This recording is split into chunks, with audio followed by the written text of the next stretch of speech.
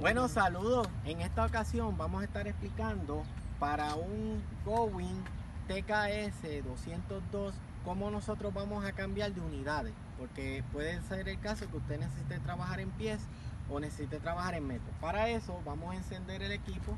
Para encender el equipo pasemos por aquí, lo encendemos aquí.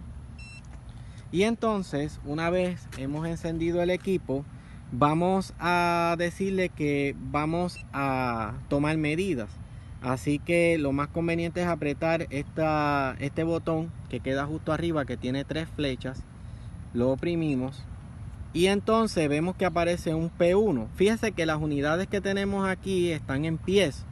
Por ende, si apretamos nuevamente P2, nuevamente P2, nos va a aparecer metros, pies y pulgadas. Así que lo vamos a cambiar a este caso, lo vamos a cambiar a metros. Y ahora, como podemos observar, eh, tenemos el equipo en metros.